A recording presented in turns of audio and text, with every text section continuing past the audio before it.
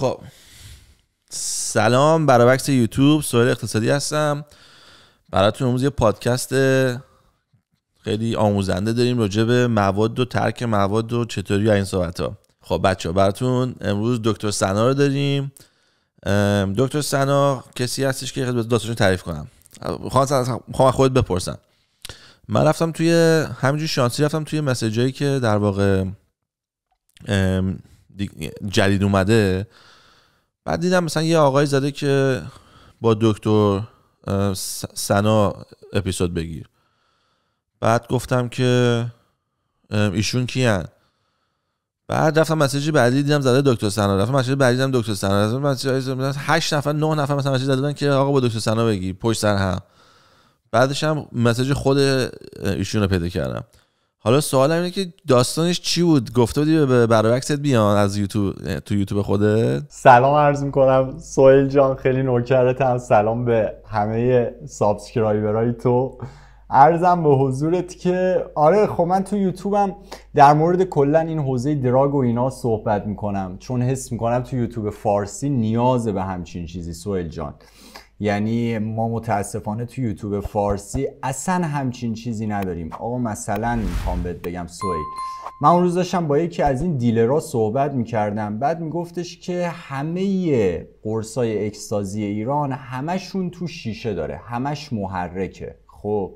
و مثلا جوونه میره تو مهمونیه درگیر داستانه می‌خواد مثلا هد بزنه اونجا بهش قرصه رو میدن این قرصه رو پلی میده و میگه چقدر فاز خوبی در حالی که نمی‌دونه که این داره میره تو پاچش خب؟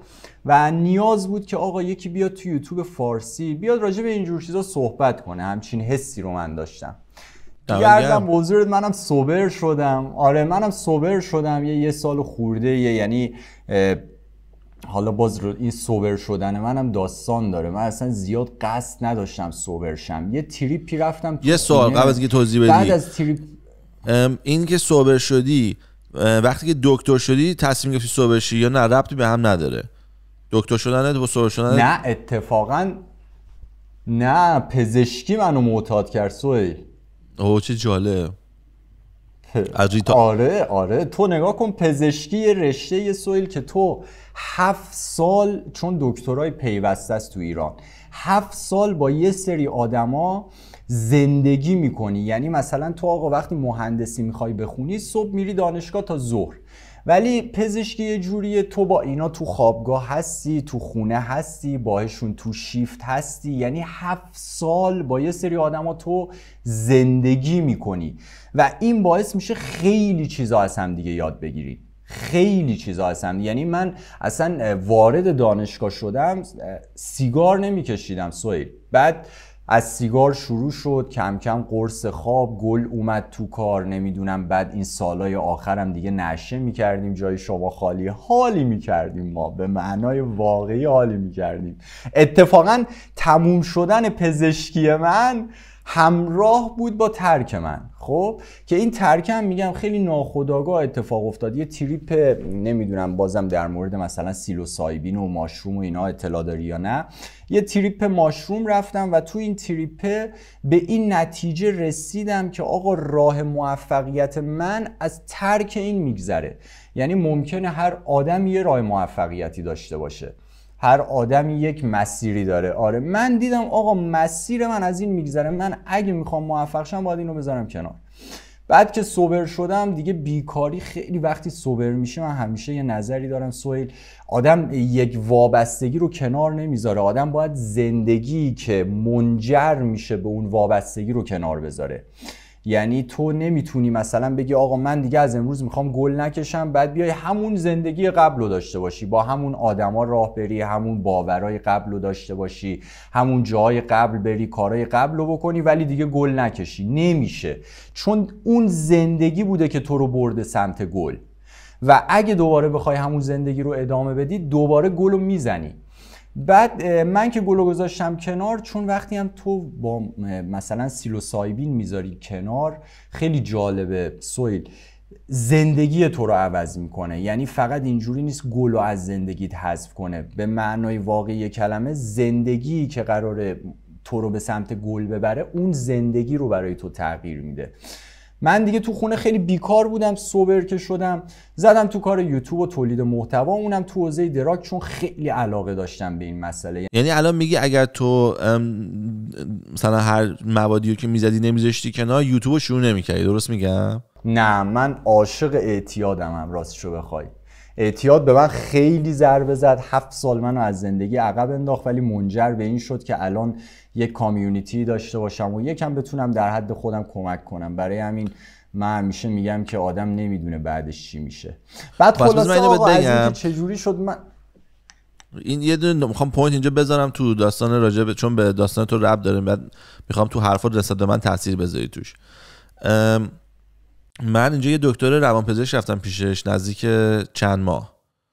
که بخواد منو کمک کنه من بذارم کنارش. زیاد مثلا نه ماه رفتم پیشش که ترک کنم. بعد روزای اول مثلا شاید مثلا دو ساعت سه ساعت بعد از این از یارو میمدم بیرون نمیکشیدم. ولی یواش یواش دیگه تا دم در میکشیدم دم در خاموش می‌کردم می‌رفتم بالا میمدم پایین دوباره میکشیدم برمیگشتم. یعنی می‌رفتم تو آفیسش بوی گل می‌دادم. بعد یه روز بهم گفتش که ببین سوهل دیگه نیا چون که نمی‌خوام پولتو مصرف کن یعنی پولتو بریزی دور. و من نمی‌تونم تو رو کمک کنم. گفتم چرا؟ گفت چون که دو دسته آدم هستش که گل می‌زنن. یه دسته آدم ها هستن که می‌خوان چیزی فرار کنن می‌خوان پوچی زندگیشون رو پر کنن و با این میرن تو اون خلصه خودشون.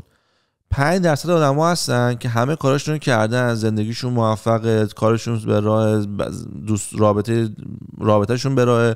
همه چیشون رو غلطک داره میره جلو. برای دلش خواسته تو زندگیش علف رو اضافه کنه. اون آدما رو تا روزی خودشون نخوان نمی‌تونی ترک بدی و تو جز اون آدمایی هیچ کسی نمی‌تونه تو رو ترک بده مگر اینکه خودت بخوای. باش موافقم کاملا. نگاه کن کلا نظر من اینه تو باید یه چیزی به اینجوری بخوام روک بگم بهت بر بخوره که بذاریش کنار سویل چون خودمونیم ما همه عاشق گل بودیم. من همین الان عاشق گلم. یعنی به من الان سویل باورت نمیشه دوستان بهشون گفتم اگه چشاتون قرمزه حق ندارین خونه من بیاین. چون می‌دونم که بد ضعفشو دارم. می‌دونم خودم رو می‌شناسم که آقا آره من حول گلم. یعنی بخوام رک بگم من به یه جایی رسید که دیگه گفتم آقا آره چون گل عشق لعنتی. واقعا من همین الان دارم میگم فازش خیلی لذت بخشه. ولی منو انداخت عقب.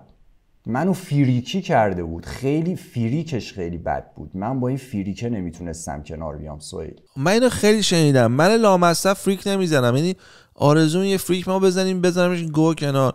من فریک نمی‌زنم. به قول هم عاشقش هم نمی‌تونم مثل یه رابطه خیلی کثیفه دختر بدی که نمی‌خواد باش دوست باشی ولی هستش دیگه. خب. من اینجوری میبینمش. خب تو اصلا من تو دوست داری بذاریش کنار؟ من خیلی. من مثلا اگه یه دونه تایم ماشین داشتم برگردم اون روزی که زدم نمی‌زنم دیگه. برای اینکه من تمام زندگیمو عجیب غریب کردم. من یه آدمی بودم که خیلی مثلا بیرون برو بود و با مردم بگو بخند و نمی‌دونم تو تو جمع همیشه صوبر جمع بودم از همه شلوغتر بودم. همه گفتن تو چجوری نه مستی نه مثلا موادی زدی انقدر سر صدا می‌کنی انقدر بالا با این میپری. بعد گلو که زدم کلا آروم شدم. مثلا اخلاقم عوض شد. افتادم دیگه فقط تو خونه خودم فیلم نگاه بکنم بیرون نرم. اصلا کاملا عوض شدم. و الان این چیزی که هستم و دوست دارم. یعنی دلم نمی‌خواد بلندشم لباس پوشم برم مثلا توی بار. دیگه حوصله این کار اصلا ندارم. اینجوری حداقل فکر می‌کنم. شاید مثلا توهمی که به خاطر اینکه مثلا ده سال رو علفم دیگه باور کردم.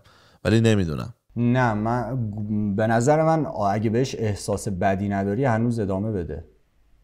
نظر منه. اگه واقعا حس تو بد نمی‌کنه ادامهش بده. من خودم آقا گل حسم رو بد می‌کرد یا خیلی از آدمایی که من دارم. من یکی بود به میگفتش سویل که من می‌خوام گلو بذارم کنار ولی می‌بینم دوستش دارم. بعد من بهش گفتم خودمونیم واقعا تو گلو دوست داری یا به خاطر اینکه میترسی از اینکه گلو کنار بذاری خودتو وادار کردی که دوستش داشته باشی. این خیلی مهمه. چون می‌دونی ما یک ناحیه‌ای داریم توی مغز سهل که اصلا علت جدایی انسان از بقیه موجودات همین ناحیه توی مغزه.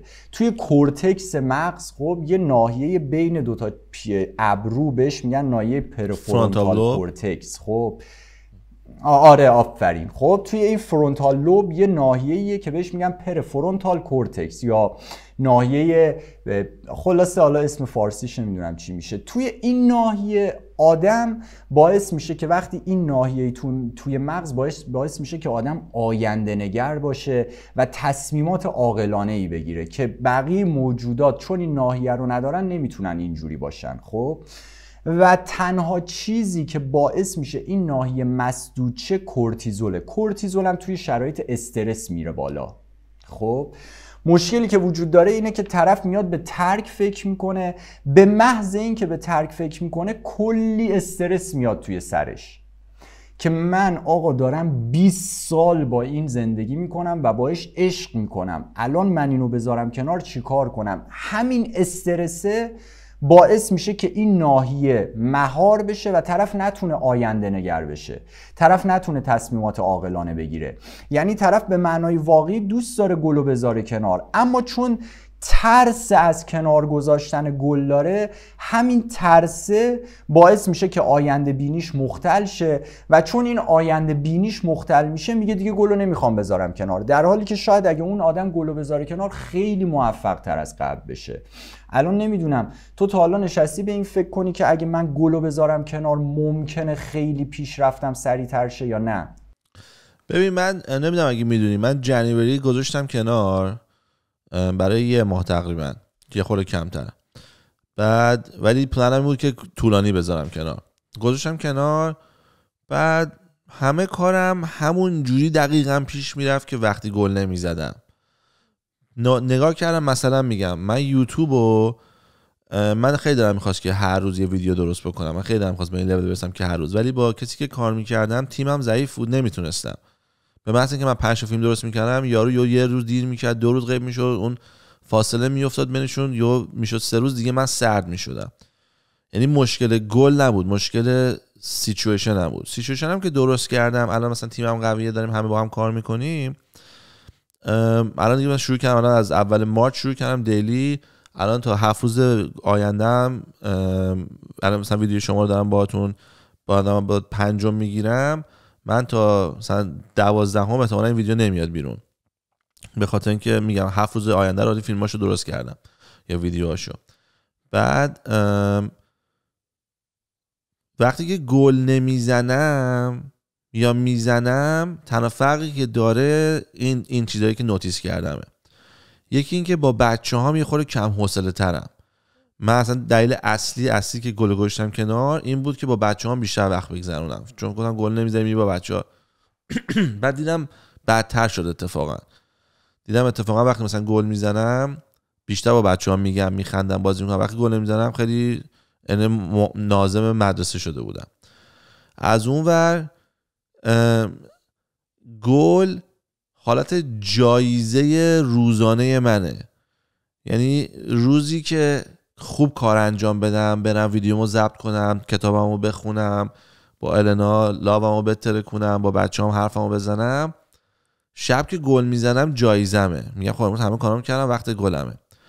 روزایی هم که گوی نمی‌خورم نجات دهندمه. میگم هیچ کاری ندارم بکنم گل می‌زنم. هم روز لوس و بی استفاده رو تبدیل می‌کنه به چیز خوشحال کننده بعد وقتی که گل نمی‌زدم این دو تا بین رفته بود. وقتی که شب همه کارامو می‌کردم اینجوری بودم. خواهم چه گوی بخورم؟ چرا شب من بیمنیه شب من خیلی خوشحال کننده و هپی بود. چرا دیگه نیست؟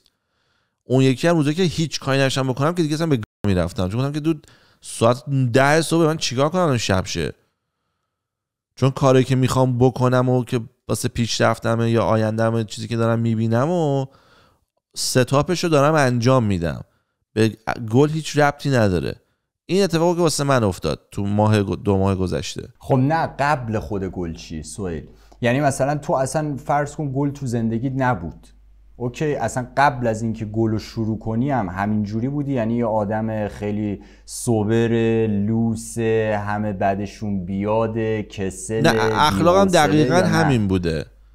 یعنی اخلاقم دقیقا همین بوده. کسایی الان مثلا تو بفرمایید چام که رفتم کسایی منو دیده بودن که مثلا 20 سال بود من ندیده بودن. بعد اونا به هم مسیج دادن که تو هنوز اخلاق عوض نشد تو دقیقا همون ریختی. یعنی اون یارو نمی‌دونستم من گل می‌زنم. بعد تمام چیزام هم همون ریختی بود. یعنی بچه ها همه گفتن بریم بیرون. تو سن 16 تو سن 20 من همیشه گفتم بریم خونه. چه خبره بیرون؟ بریم تو خونه بشیم دور هم موزیکمون رو بذاریم تیویمون رو روشن کنیم بگیم بخندیم با هم فیلم نگاه کنیم. چرا بریم بیرون؟ غذا خوردن همیشه مورد علاقه بود. بعد از علف هم غذا خوردنم مهمترین چیز زندگیمه. نمی‌دونم. همیشه رابطه هم همون ریختی بود. همونقدر دعوا همونقدر مشکل همونقدر خوشحالی همونقدر به عنوان ساکسس همه چیم یکی بود. هیچ نوع فرق نمی‌بینم. و حتی شاید پیشرفتم می‌بینم. چون اولش که کار اولمو شروع کردم من شبا ساعت مثلا ده و 11 دیگه همه که میخوابیدن خونه من نهاد. یعنی من تنها زندگی می‌کردم. توی سوسایتی دیگه 11 همه خواب بودن دیگه. سوسایتی که میخوابید من گلمو می‌زدم میشستم تا چهار صبح روی وبسایتم کار می‌کردم. و من فکر می‌کنم اگر گل نبود من نمیشستم صبح 4 ساعت 5 ساعت 6 ساعت شب و هر شب روی وبسایت کار کنم. به نظر من تو گل رو ادامه بده. جدی. جدی میگم نه می‌دونم به گل تو خیلی می‌سازه به خدا. ببین من آدم احمقی نیستم. می‌فهمم ضرر داره می‌فهمم برای شوشت بده می‌فهمم وچ هشت تو جامعه بده. خب بهتر بود اگه من صبر بودم. می‌خوای بری بابات معرفی کنی اگه مثلا دوست دخترت همه چیشو می‌فهمم. کاملا آدم احمقی نیستم. نه اتاد به نفسم. سلف چی میگن؟ قدرت کنترل خودم هم بالاست. یعنی اگر تصمیم بگیرم میگم نمی‌خوام دیگه بزنم نمی‌زنم. ولی هر دفعه که تستش کردم با دکتره قوی صحبت کردم خودم زندگیمو گوشم زیر ذره بین وقتی خودم زندگی می‌ذارم زیر ذره بین چون خودم آدم راستگوییم به خودم دروغ نمیگم هیچ وقت. همه چیو واقعا جاج می‌کنم نسبت به خودم. قضاوت می‌کنم خودمو. بعد همیشه دیدم که آقا کیفیت زندگی من میاد پایین. یعنی ما بابام که زنگ می‌زنه ازش عصبانی میشم. پاشا که گم می‌زنه دو برابر داد می‌زنم. شب خوشحالتر نیستم با زنم کمتر میخندم فیلم کمتر بهم حال میده غذا کمتر بهم حال میده. بعد گفتم خب چه کاری واسه چی این کارو بخوام بخوام بکنم؟ من تصمیم خیلی جدی گرفته بودم بعد که امسال بذارم کنار اصلا دیگه نزنم گفتم دیگه نمی‌خوام. بعد قیافه خانومم رو می‌دیدی هیچ کاری نش بکنه اصلا انگار به رفته بود همینجوری واسه بود اصلا چه گویی بخوره. بعد دیدم خب اون اون ناراحت منم که ناراحت خب چرا این کارو می‌کنیم ولی مثلا من تنها که کردم راید اوی رفتم گفتم که آقا چطوری میشه گلو سالمتر کشید؟ بعد مثلا فهمیدم که تو می‌تونی گلو بذاری داغش کنی. منطقش همینه. توی گل THC و CBD داره که تو رو در واقع های می‌کنه. CBD مدیکال THC اون چیزی که تو مغزت احساس می‌کنی. THC توی بین 160 تا 185 90 ریلیس میشه. CBD بالای 205 درجه ریلیس میشه. بعد من اگه تو بتونی گل رو برسونی به اون درجه 160 تا 180 THCش بلند میشه بدون که گل آتیش بگیره بدون که ساقش بسوزه بدون که برگش بسوزه. و همین دیگه تو برق و ساق و اینا رو نمی‌خوری. به این میگن ویپ کردن. بعد من رفتم دستگاه خریدم رو ایبی میبه پیدا کردم 20 دلار. یه آهن بود داغ می‌شد بعد تخمی بود همیشه سیاه می‌کرد. مثلا میزش روش میسوخت. من آپگرید کردم آپگرید کردم. آخرش به دستگاهی که والکینو مال آلمان هم هست. قرآن اسمش آتش فشانه چون قیافه شبیه آتش فشانه مثلثه بعد اونو استفاده می‌کنم که مثلا سالم ترین حالتی که می‌تونم بکشم. حالا یه سوال دارم. برای اینکه آدم بخواد ششش رو تمیز کنه چه کاری می‌تونه انجام بده که کمک کنه؟ چند روز باید بریک بدی به شوشه تا یه تکونی بخوره؟ جواب خاصی هست یا نه؟ بعید می‌دونم بشه درستش کرد. یه سری مثلا چیزا من شنیدم نمی‌دونم ورزش کنی نمی‌دونم اگه پنج سال بگذره این ریه خودش رو می‌سازه ولی سویل فکر کنم اینا چر باشه راستشو بخوای. چون من تو بیمارستان جوری که می‌بینم حالا تو خصوص در خصوص گل نه ها ولی خب کسایی که مثلا 20 سال سیگار کشیدن بعد سیگار رو گذاشتن کنار دیگه واقعا این انسداده بهش میگن انسداد مزمن مجاری راه هوایی. این انسداده برگشت پذیر نیست. یعنی جوری که من توی بالین دارم می‌بینم دیگه ریه که به بره دیگه اصلا خراب میشه تموم میشه داستان. متوجهی؟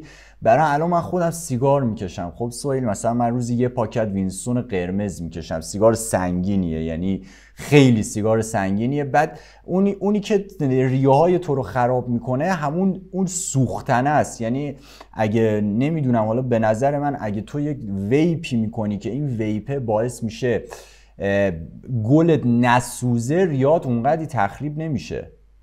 نه هیچی گل نمیسوزه. گل میسوزه حتی سنا وقتی که گلی که توش در میاد و اگر به آدمی که حالیش نباشه می‌تونی به عنوان گل بفروشی. نمی‌فهمه تیش پریده. پشمام چه تمیز دستگاهه. آره انگار مثلا میرن لای برگاه این تی کریستال رو در میارن نزن بالا. بعد کریستال بعدی هم داره میندازن. خشن تمیزش می‌کنن. بعد انقدر شبیه گله من گفتم بابا نکنیم ما رو فیلم کرده ما داریم میریزیم توش یه خورش میده بقیش داریم میریزیم دور. یه رفیق داشتیم تازه شروع گل زدن یه دونه پک می‌زد به گام یعنی همینجوری سبزی همینجوری هم با همون سبزیه همون رنگ و تو باز دوباره تحویل میده بهت. آره البته اینم بگم ها این اتفاق وقتی میفته که من روی این رو 170 میسوزوندم. من جدیدن یه خورده پررو شدم بردمش رو 190 190 الان بهت قهوه کمرنگ سبز پررنگ پس میده. خب. ولی اون موقع شو خب برای چی ببریش بالا؟ چون برای چی ببریش بالا دما رو؟ چون که یه مقدار تی در نمیومد احساس می‌کردم. مثلا اگر رو 160 میذاشتیم اونقدی high نمی‌شدی که رو 180 می‌کرد. هنوزم از 200 فاصله داشت. گفتم OK یه. رنگش هم میگم قهوه‌ای میشه. بدترین حالت. واسه این نمی‌ذاره بسوزونتش. و خلاصه یه دونه اون موقع که سبز می‌شد یه دونه کامل شد. دادیم به یکی رفیقامون بکشه. یه joint کلفت درست کردیم دادیم همشو کشید. هیچ چیش نشد. یعنی اصلا انگار که مثلا هم دقیقا هیچ چی نبود هیچ چی نبود توش. خیلی جالبه. البته الان که با حرف زدم شاید از امروز برم کمش کنم دوباره. بکنم 170 آره چون می‌دونی سویل این سوختن از قطران تولید می‌کنه یا تار تولید می‌کنه اون تاره موجک تنفسی رو به فنا میده. و اینه اگه به نظر من نسوزه اوکیه یعنی با ریاد کاری نمی‌کنه. الان سیگارا هم همین جوریه سویل یک چیزایی هست که تو سیگار رو می‌ذاری توش دقیقا همون چیزی که تو میگی میاد با حرارت سیگار رو میسوزونه نه با آتیش.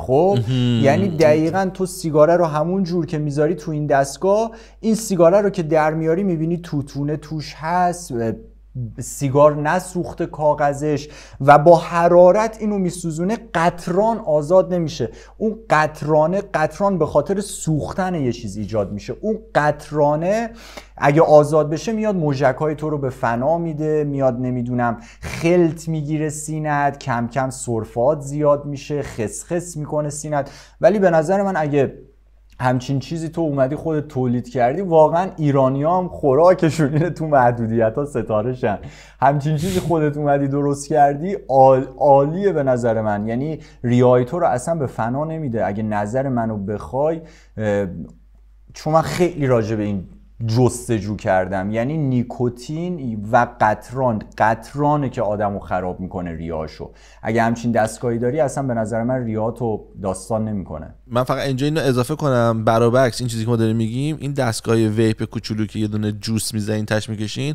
این کوالیفای نمی‌کنن چون اونا خودشون آردی میگن توش کلی آشغال وجود داره و هر چی استادی دارن می‌کنن اولا که وقت واسه استادی نبوده. هر چی استادی دارن می‌کنن میگن که ضرر داره.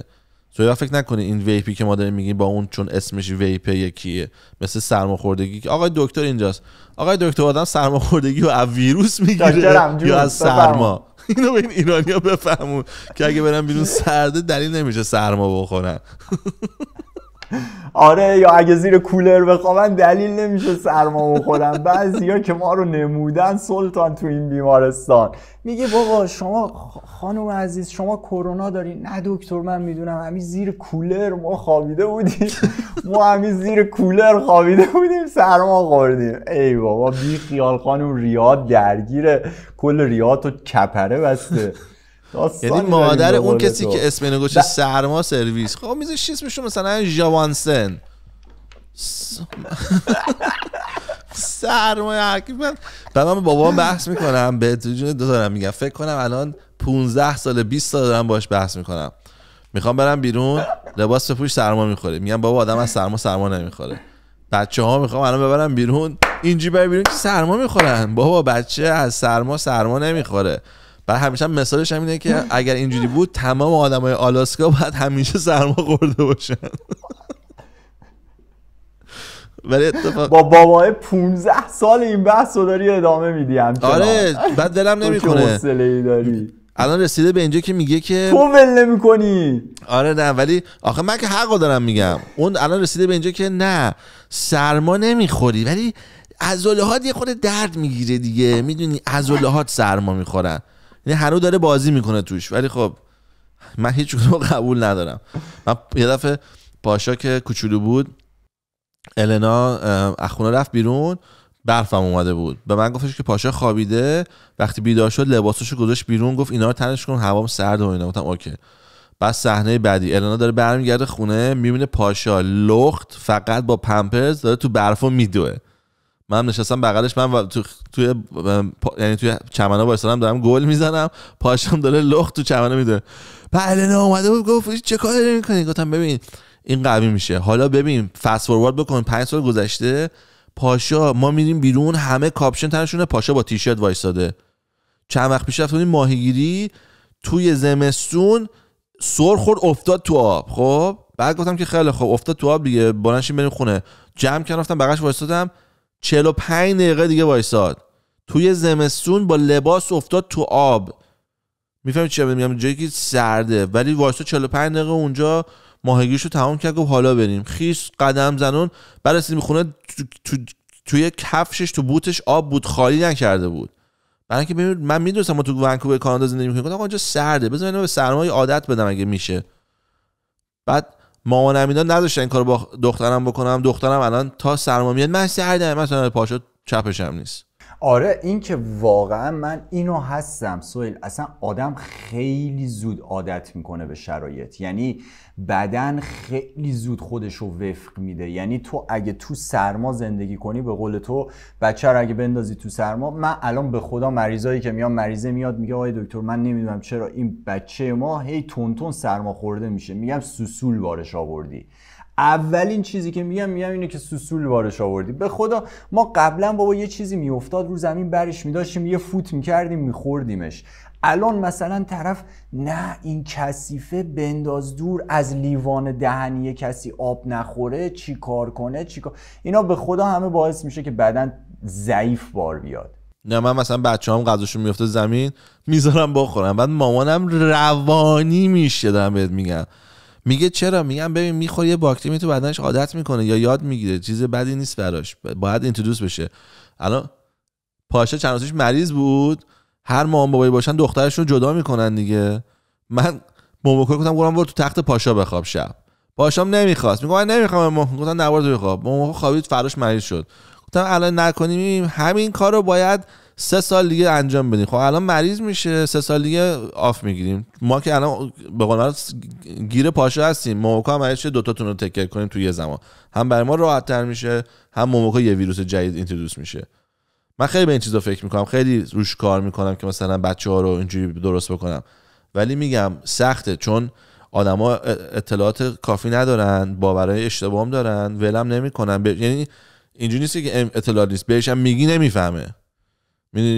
میگم 15 سال دارم به بابا من بابای من آدم باشوره. من این 15 سال دارم به بابام میگم نتونستم. دیگه هیچ امیدی ندارم مثلا کسی دیگه هم بتونه عوض کنه عقیدهشو. یعنی یارو گفت سرما سرما. یه بار فقط کافی زیر کولر بخوابه صبح بلند شانسی ویروس هم زده بهش. دیگه تموم شد. اینو وصل می‌کنه که کولر سرما من مریض شدم. تموم. تا آخر عمرش میگه من کنم یه شب رفتم تنها خوابیدم خونه گولر بابا قالی که تو حیات چسید چسش ویروس داشت اومد تو اونجا. نمی‌دونی که چی شد. تو بینی توضیح بده. آره این باورای غلط داستانیه برا خودش که اصلا پشمای آدم میریزه. همه ما این باورای غلط رو داریم سویلا. همه ما یه سری باورای غلطی داریم باور کن.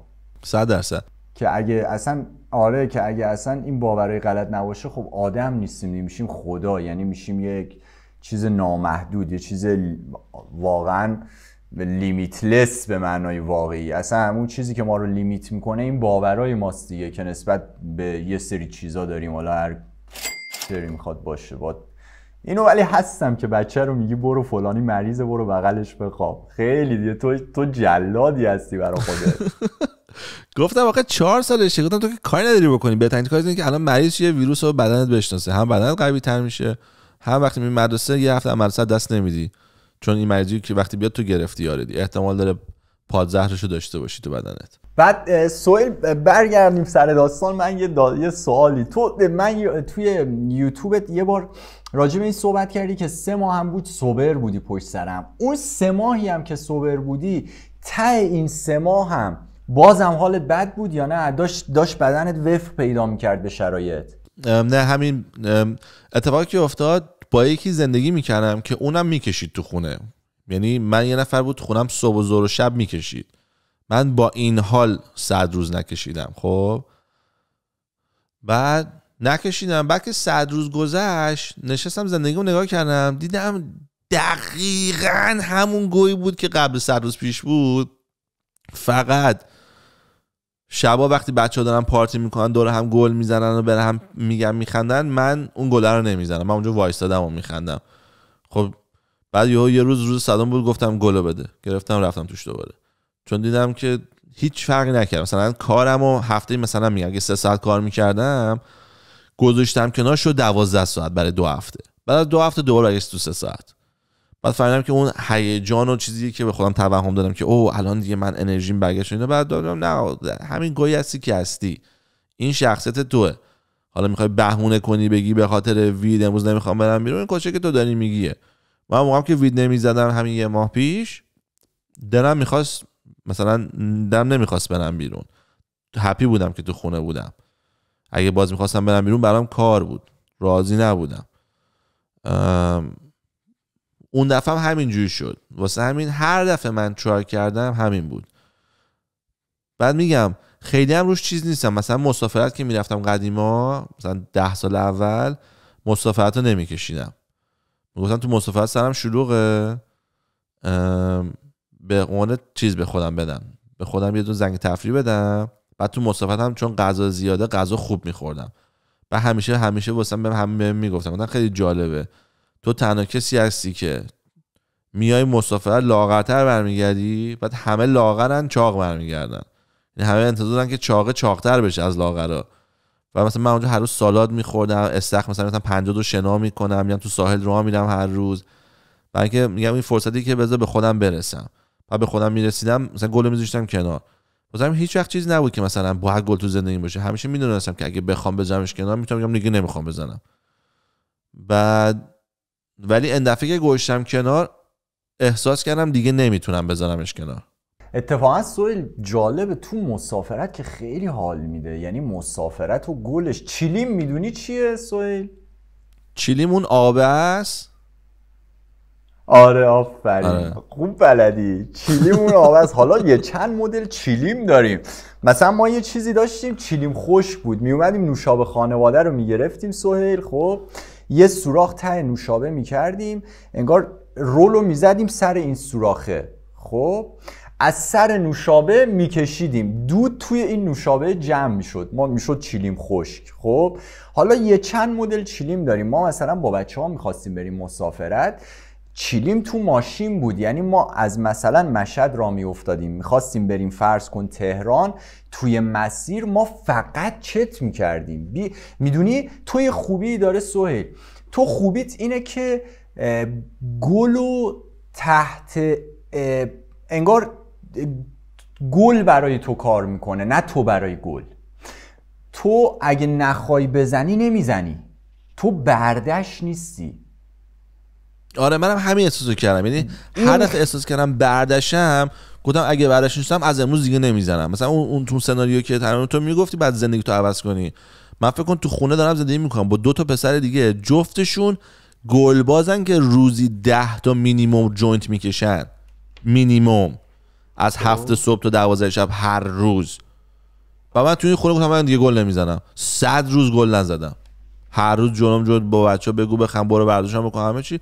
روز دیدم آقا من من خب نخواستم نزدم دیگه. دیگه من از این دیگه سختتر دیگه نمیشه دیگه. تا اگه من تو این شرایط نمی‌زنم پس اگر بخوام نمی‌زنم. نه پس من تو نیستم تو جنه منی. بعد دقیقا حرفم تو همین. یعنی در حرفی که تو زدی دقیقا منم فکرم همین بود. و اون دکترم که منو جواب کرد همینو به من گفت. آقا تو زندگی رو رلس اینم یکی از تفریحاتته. تا به روزی که بخوای بکنی می‌کنی. مثلا مثلا یکی به دکتر بگم من پلی دیگه بازی نکنم. بعد میگه چرا دیگه می‌خوای پلی بازی نکنی؟ میگه نمی‌خوام بازی کنم. مشکلی داری. درس نمی‌خونی. چرا درس هم می‌خوام؟ دکتر شدم. کار نمی‌کنی. چرا؟ کارم هر روز میرم سر کار میام کی پلی بازی کنی بعضی که اومدم خونه درسمو کارمو کردم لباسامو هم شستم بعد یه دست پلی می‌زنم. بعد دکتر میگه خب بس برای چی می‌خوای ترک کنی؟ منم همچین احساسی کردم بعد از یک سال و چند ده هزار دلار پولی که به یارو پول دادم این احساسو کردم. مثلا چقدر؟ ساعتی 150 دلار می‌گرفت. نه مثلا 7 هزار دلار شبش پول دادم. دوباره 5000 دلار بگو. بعد اینکه 5 دلار پول خرج کردم و وقت گذاشتم و رفتم و با دکتر صحبت کردم دکترم به همین نتیجه رسید. گفت آقا من زندگی تو رو مشکلی نمی‌بینم. تو فقط مشکل اینه که مردم نزدیکت بهت میگن نکن. تو می‌خوای اونا رو راضی نگه داری. حالا مثلا مامان بابات می‌خوان باشن دوست دخترت می‌خوان باشن. ولی برای خودت نمی‌کنی این کار داری واسه بقیه می‌کنی. بعد دیدم که فهمیدم اینه دیگه خیام راحت شد دیگه. گفتم خب چرا دارم این کارو می‌کنم؟ بذار خودم خوشحال نگه دارم دیگه. آره سویل می‌دونی مشکل چیه؟ مشکل اینه که نسل الان خب میاد چیکار می‌کنه؟ میاد مثلا تو رو نگاه می‌کنه میگه اوکی سوهل خب یه آدم موفقه داره گلم می‌زنه. پس اصلا اینا به همدیگه ربطی نداره. طرف فکر می‌کنه که گلو بزنه می‌تونه یه آدم موفق باشه متوجهی در حالی که باید اینو آدما بدونن که آقا هر کسی یه مسیری داره برای موفقیت. آ سهیل مسیر موفقیتش این نیست که گلو بذاره کنار. ولی خیلی با الان خیلی گل زیاد شده. بعد تو ایران لعنتی هم داداش یه جوریه که طرف از سر واقعا بیکاری میره سمتش. یعنی طرف یه جوری میشه که چون هیچ عشق و حالی نداره هیچ هیچ واقعا به معنای واقعی دیگه شرایط ایران رو آره طرف پول در آوردن براش سخته پارتی کردن براش سخته اونی که پول در میاره کاری نداره بکنه. اونی هم که پول در میاره کاری نداره بکنه. بعد همه اینا باعث میشه که طرف میگه بابا ای ریدم توش اصلا هیچ کار نمیشه کرد. حداقل بیایم گل بکشیم بتونیم سر جامون. خب گل خیلی جالبه. تو سر جا نشستی بدون هیچ فعالیت اضافی حال می‌کنی. چیه آره، که هم... اینجا چیه که همچین فازی به تو ده آفرین. و طرف میره سمتش بعد به یه جایی می‌رسه که اون برده گل میشه. یعنی از صبح که از خواب بیدار میشه سیگاری رو میچوقه تا شب که می‌خواد بخوابه. و می‌دونی بدنم دیگه وفق پیدا می‌کنه به این حجم دوپامین بالا چون دوپامین لذت میده دیگه. بدنم خیلی سریع به دوپامین عادت می‌کنه. به این حجم دوپامین بالا طرف عادت می‌کنه و دیگه براش اون گله لذت نمیده. اون گله فقط باعث میشه حال بدش از بین بره. خب خیلی ها رو من دارم. بابا که اصلا به خودکشی یعنی واقعا طرف شدیدن به خاطر اینکه داره گل می‌زنه و نمی‌تونه ترکش کنه افکار خودکشی خیلی زیادی داره. من خودم به یه جایی حدودا رسیده بود. البته گل منو به اینجا نرسون قرص خواب منو به اینجا رسون که دیگه واقعا من می‌خواستم برم چون خیلی حالم بد شده بود از خودم سویل. یعنی می‌خواستم این لعنتی رو بذارم کنار نمی‌تونستم. ای بابا من پاره شدم قرص خوابو بذارم کنار. یعنی واقعا گوشی کنار داد من رسید. یه توضیح بده. ماشروم ماشروم. آها.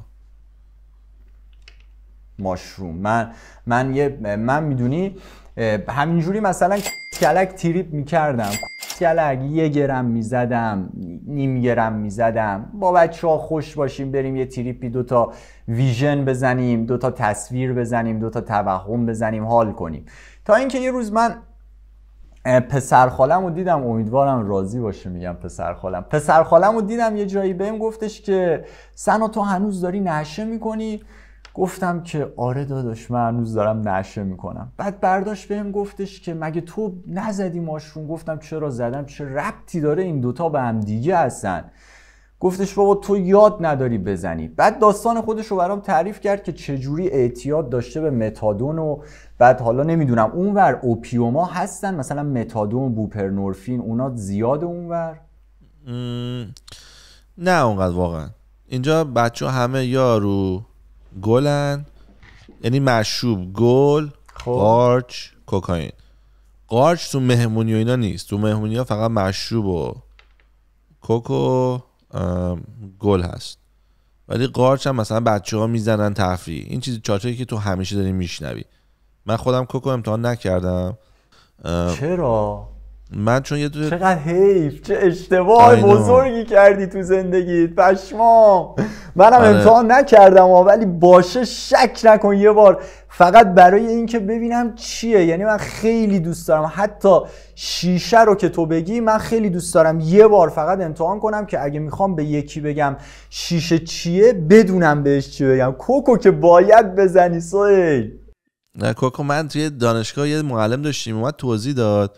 coke و که می‌زنی happiness تو هی میاره پایین. بعد از مثلا چند وقت روی coke دیگه باید بزنی که نرمال فقط بشی وگرنه unhappy بعد اینو که من یاد گرفتم گفتم که من چون character م احساس می‌کنم addictive ه اگه یه وقت خوشم بیاد و بیفتم روش می‌تونه happiness واقعی از زندگیم بگیره. و من نمی‌خوام اتفاقا من می‌خوام خور... می‌خوام هر روز خوشحال بیدار شم نمی‌خوام هیچ وقت بیدار ناراحت شم. و سر این چون خیلی واسم مهم بود اصلا هیچ وقت طرفش نرفتم. و مثلا یه فرم مهمونی رفتیم از در که وارد شدیم بچه ها نزدیک شاید مثلا چه می‌دونم یه ساعت اینا رو وقت صرف کردن روی میز دم در رو میز ناهارخوری نزدیک مثلا چه می‌دونم 200 تا 400 تا line coke زدن. کشیدن گفتن آقا ما نه حوصله line درست کردن نداریم ما می‌خوایم بلند شیم line بزنیم. بعد 400 تا line روی میز درست کردن دیگه این میزه رو این خطای این میخی مصری می‌زدن دیگه. و فکر من چهار روز تو اون صحنه باشم و نرم یعنی من فقط اینجوری بوده. آقا منو بکن تو منو بکن تو. گفتن نه مرسی. خیلی ارادت قویه. من اونجا بودم ضعف و نشون می‌دادم شک نکن. نه من خب به ارادم اعتماد دارم. نه برای همین میگم برای همین واسم عجیب بود که میگن آقا تو که ارادت خوبه چرا نمی‌تونی بذاری؟ البته من یه جا دیگه به ارادتم شک دارم سر ورزش. من نمیرم ورزش کنم و نمی‌فهمم چرا. می‌فهمم بدنم لازم داره می‌دونم بهتر میشم قوی تر میشم خوشحال تر میشم سالم تر میشم واسه خانوادم بیشتر می‌تونم بمونم تو یوتیوب قیافم بهتر میشه. همه جوره فاکین واسه من سود داره. ولی نمی‌تونم بلند من ورزش کنم. بس سر این به خودم شک دارم که به اعتماد نه به چی میگن؟ همین که الان گفتی. اراده. اراده. ارادم شک دارم الان. خب می‌دونی برای چیه؟ سوئل برای که آدم دوپامینای لحظه ای رو بیشتر دوست داره. یعنی آدم دوست داره در لحظه یه چیزی بهش لذت بده. تو مثلا آقا چرا طرف کتاب خوندن براش سخته؟ چون کتاب خوندن در طولانی مدت بهش لذت میده. همه مغز دیگه همه دوپامینه. دوپامین چیزیه که به تو میگه من می‌خوام. دوپامین یعنی کریوینگ دوپامین یعنی وسوسه. شما آقا مثلا برای بار اول چرا بچه دوست داره نوشابه بخوره؟ چون می‌بینه دوروورش همه وقتی نوشابه می‌خورن حالشون خوب میشه. بچه از روی سوال مغزش براش سوال پیش میاد سوال که اگه من این نوشابه رو بخورم دوپامینم میره بالا یا نه؟ اگه این نوشابه رو بخورم به هم لذت میده یا نه؟ بچه مغز بچه به خاطر پا رسیدن به جواب این سوال میره سراغ نوشابه. نوشابه رو که می‌خوره دوپامینه میره بالا توی مغز. نوشابه بهش لذت میده و دیگه مغز این آدم یاد می‌گیره که نوشابه مساویه با لذت. نوشابه و مغز این آدم هی میگه می‌خوام می‌خوام می‌خوام. دیگه طرف یه جایی می‌رسه که برده اون دوپامینه میشه برده اون لذته میشه و دیگه یه آدمی میشه که هی عاشق نوشابه خوردن متوجهی؟ مغز انسان دوپام و هر چی این دوپامینه الان کوک خب خدای دوپامینه.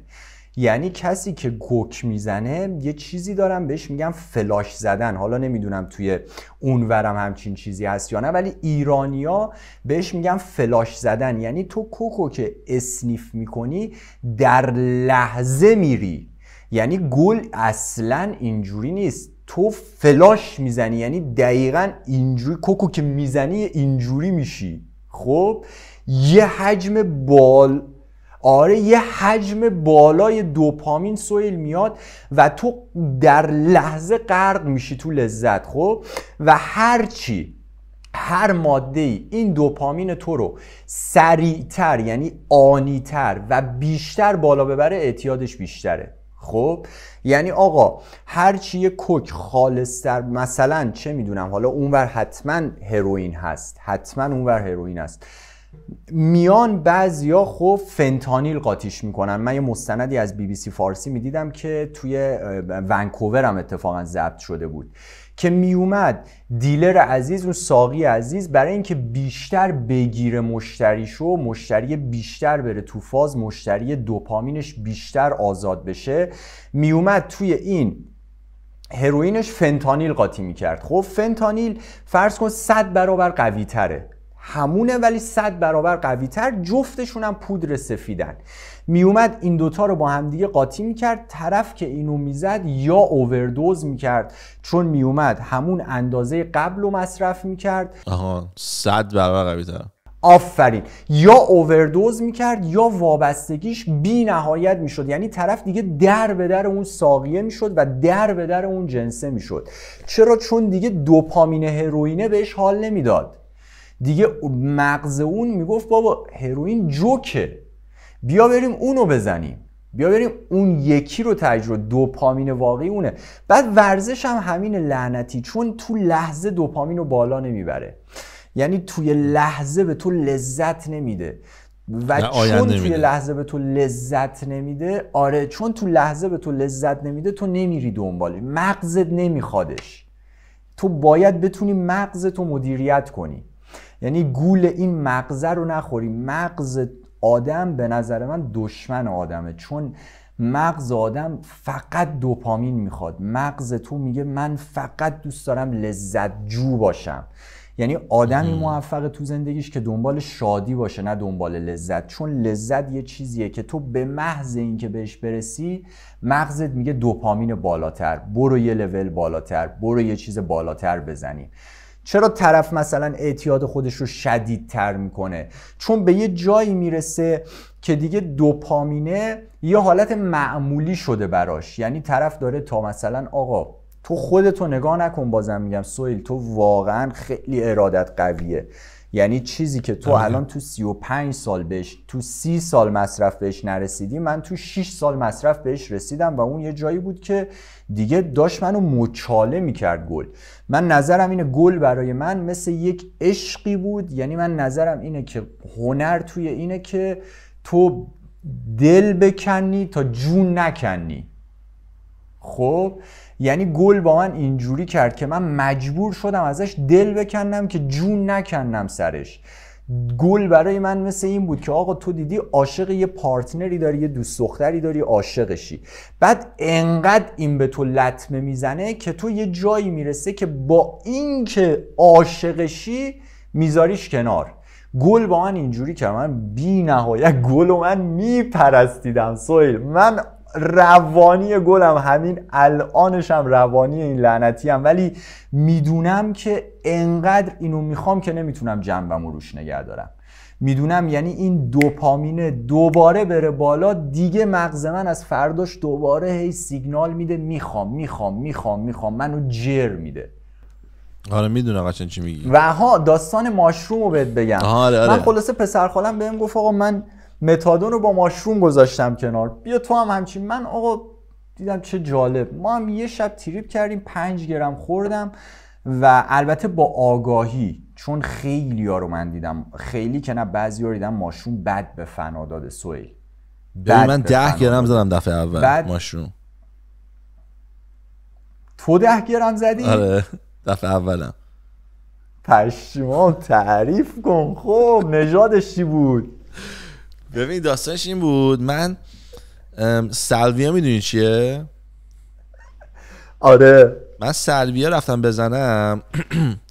1x داشت 2x داشت 3x داشت 5x داشت 10x داشت 20x داشت. بعد من گفتم که آره من می‌خوام دفعه اولم بزنم و خانومه که میفروخت یه دونه 1 x در آورد گفت بیا اینو تو ببر. با یه دونه x برو. گفتم نه بابا به من 20 x رو بده. گفت ببین این مال حرفه‌ایاست فلان. گفتم من خیلی بدنم گنده است. خیلی هم ورزشکار بودم اون موقع. بدنم همه چی رو می‌سوزوند گفتم آقا من زیاد لازم دارم که بفهمم چیه. دو نمی‌خوام بکنم. گفتم دفعه بفهمم چیه داستانش.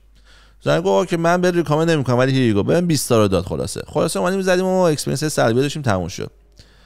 که به قارچ رسیدیم دوباره همین داستان. رفتم به اون رفیقم گفتم که آقا چقدره؟ گفتش که آره ما مثلا بچه ها دارم میدم بین یک گرم تا چهار گرم.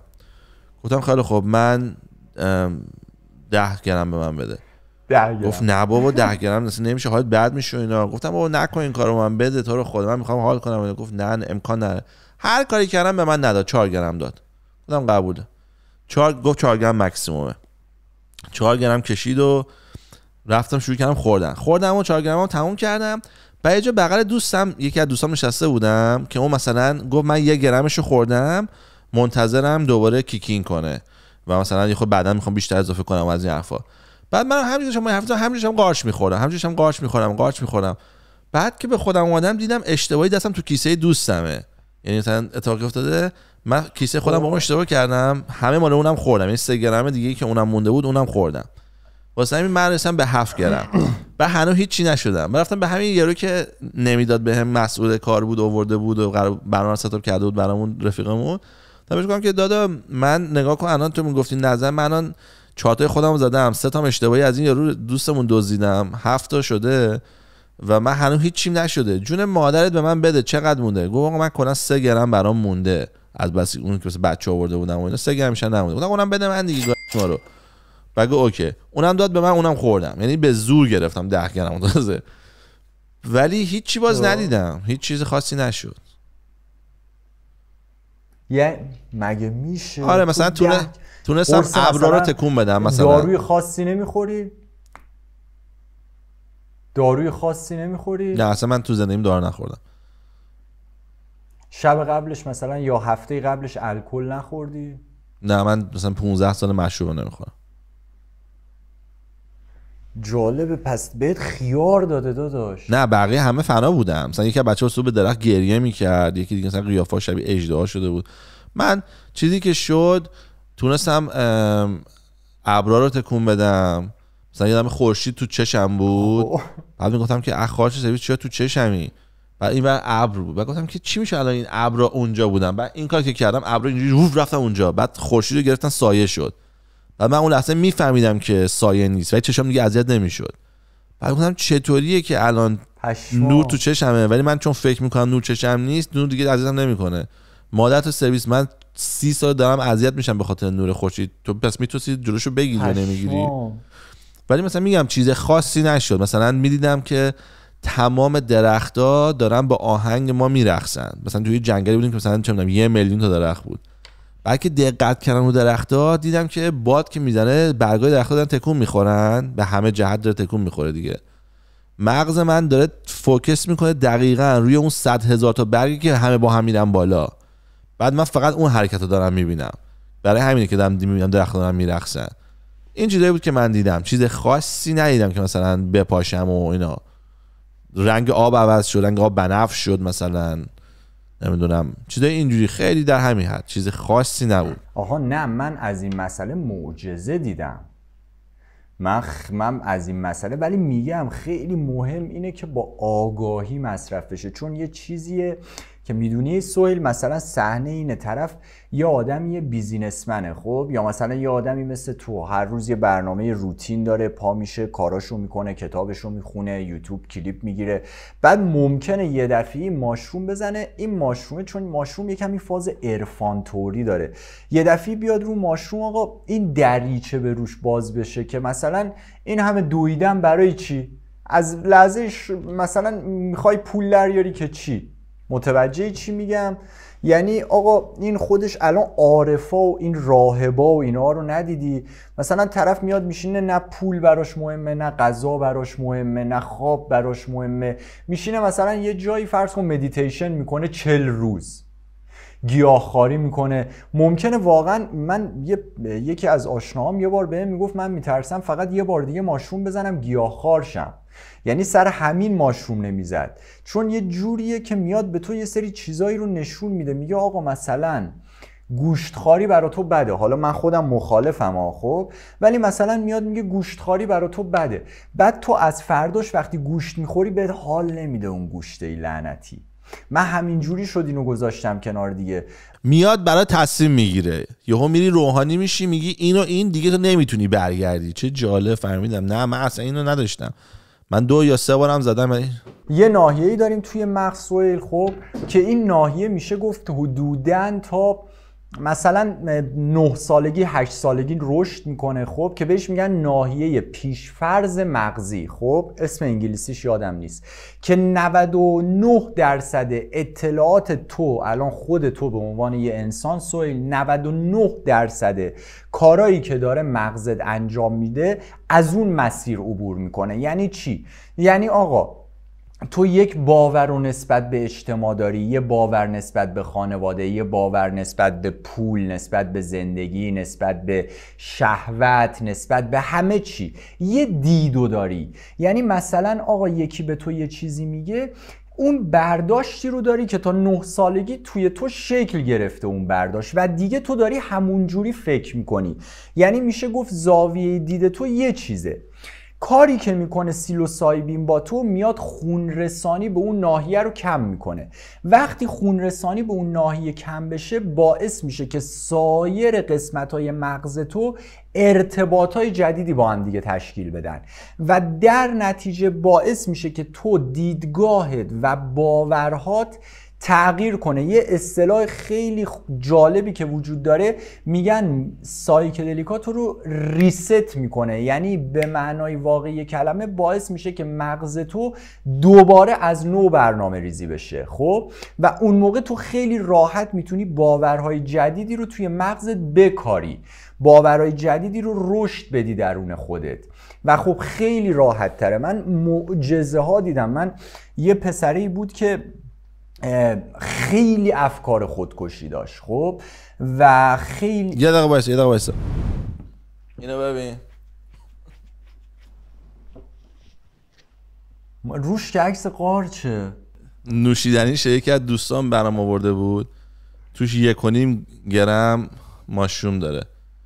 بعد من نخوردمش. او مای گاد سرش نگاه کن. می‌تونی ببینی ماشروم چیزو. الان احتمالا رشد کرده. فکر کنم اینو بزنی مثلا یه سی گرمه. ولی خب جالبه. مستندش رو نگاه کن. به بچه های channel ت هم توصیه می‌کنم حتما. مستند Fantastic Fungi و او اونو شروع کردم. تجربه خود طرف رو نگاه کن. طرف mycologist قارچشناس پاول استسمن بزرگترین mycologist دنیاست. بعد خودش توی این مستنده میگه چجوری لکنت زبونی که مثلا از بچگی داشته با یه تریپ درست شده. خیلی حرف سویلا لکنت زبونش با یه تریپ درست شده. اینا واقعا نیاز به بررسی داره اصلا نیاز به خیلی پیگیری داره. الان با یه سوال یه سوال. طرف فرق ماکرودوز با اینکه گنده بزنی چیه؟ ماکرودوز شنیدی؟ آره. خب این ماکرودوز واقعیه یا اینکه توهمه یا اینکه بهتر آره بیشتر بزنی بیشتر انجمن داریم اصلا. اصلا انجمن داریم. انجمن microdose آمریکا راجبش تحقیق کن که این انجمن microdose آمریکا اومده پروتکل گذاشته. سویل مثلا میگه شما اگه OCD داری یا اختلال وسواسی اجباری داری اینجوری microdose کن برای درمان. شما اگه میگرن داری اینجوری microdose کن. شما اگه سردردای cluster یا سردردای خوشه‌ای داری اینجوری microdose کن. شما اگه افسردگی داری اینجوری. اگه استراب داری اینجوری. اگه فوبیا داری اینجوری. آره یا مثلا اگه لکنت زبون داری اینجوری. اینا یه چیزایی که الان خیلی حرف برا گفتن داره خیلی حرف برا. و مایکرودوز یه جوری دوزی از قارچه که شما هیچ تصویری باش نزنی. یعنی تو صبح پا میشی مثلا آقا در اصل باید بین یک دهم تا سه دهم گرم باشه. خب؟ یعنی بیشتر از سه دهم گرم دیگه از مایکرودوز خارج میشه. تو مثلا یه دهم گرم پا میشی صبح می‌زنی اصلا انگار نه انگار. اصلا خیلی اوکی اصلا انگار نه انگار چیزی زدی.